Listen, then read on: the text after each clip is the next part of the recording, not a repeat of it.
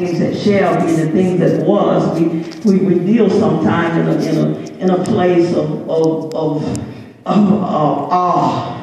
Yeah, that's all you can say, awe. You know, because when you should be some way, you know, and you, you can go to bed at night and wake up in the morning. You go to bed in trouble and go to bed tormented in your mind and wake up in the morning and God doesn't turn everything around.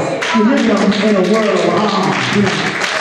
And everything that God does, sometimes it just totally amazes you. It just blows you away. And sometimes you can be so into yourself and into your situations that you make yourself ashamed when God turns it around. You know, you be embarrassed because you you mumbled You, You mumbled and complain so bad, and you, you talk to everybody, you had this gloom, and you could sit down. You had this gloom about you, and this, all old and then when God do something for you, he do it in such a miraculous way. And, the only thing you got is oh He just make those arms happen in your life. And I praise God because